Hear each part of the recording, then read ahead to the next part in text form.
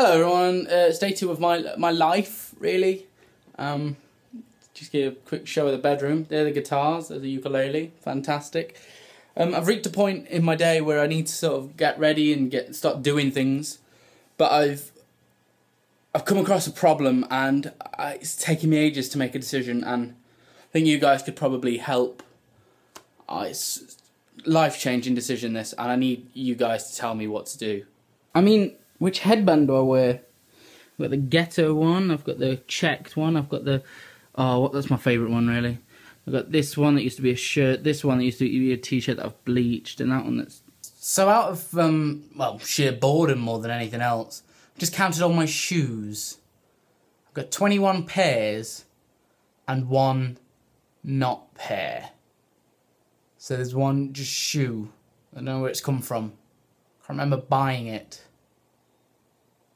Where's the other one? So I'm still at home and I'm currently working on an outro for this channel.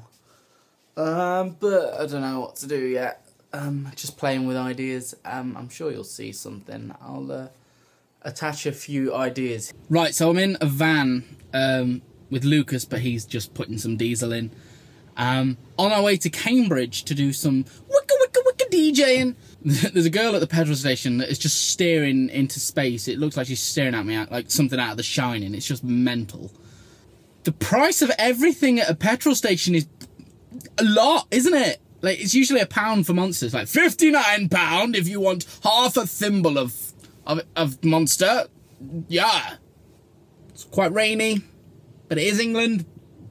So I found myself in Cambridge in a bar and I'm having a drink of gin. Gin. Um, this, this is a Lucas. Wagwan. He speaks like that sometimes.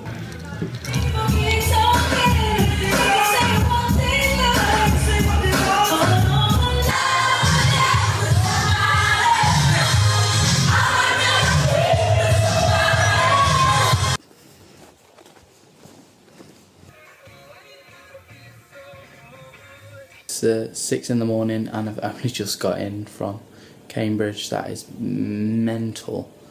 Um, had a okay time. Very tired. Just eaten uh, a tuna panini.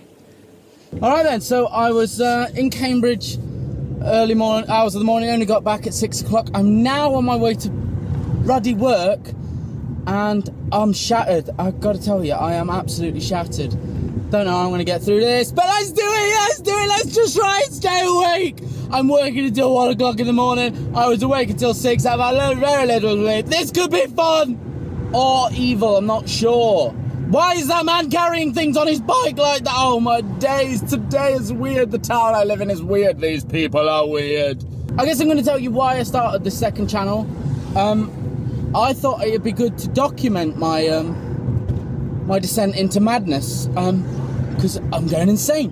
I'm going to have things like pun days, which is every Monday I'm going to do a bunch of really rubbish puns.